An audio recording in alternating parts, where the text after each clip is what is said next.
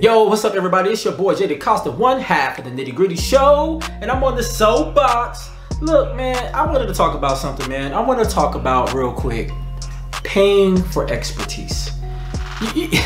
We live in a society, man, where everybody think like they know something, and everybody want to give advice, but maybe you're not in a position to give advice.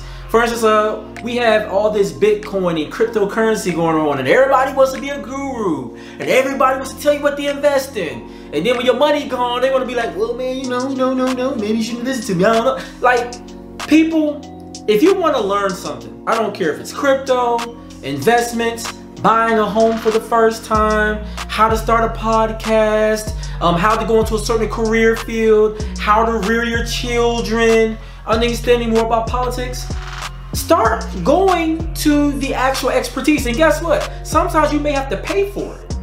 And it'll be worth it because don't be going to so-and-so who know a little something about Bitcoin. He bought some Bitcoin on accident once upon a time, right? Or don't be going to so-and-so um, who rent a house, but they don't even actually bought it. They never actually bought a home. So you ask them for advice on how to buy a house, but they don't really know. You get what I'm saying? Like, start paying for expertise. You looking to buy a home, get a real estate agent, y'all. Yeah, you're gonna have to pay them a certain percentage, like 3 5%, but it'll be worth it. So you can have a buyer's agency. That means someone who actually covers you in the process.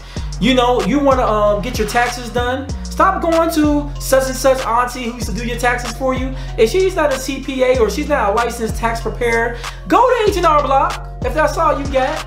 Go to wherever you need to go, but pay for the expertise. And when you're dealing with issues in the law, for all my lawbreakers out there, maybe some of y'all don't break the law. You might be just be going through family court, um, a dispute, some type of a lawsuit, whatever the case. I don't know what your business might be, but pay for a lawyer. Stop going to Uncle Johnny who went to jail a few times or he know a friend of a friend that went to law school. No, you go pay for a lawyer to help you with your needs because a lawyer is going to be able to inform you properly. And stop talking to the, your homeboy who live in New York if you live in Florida. You need to hire a Florida lawyer because guess what? Different states have different laws.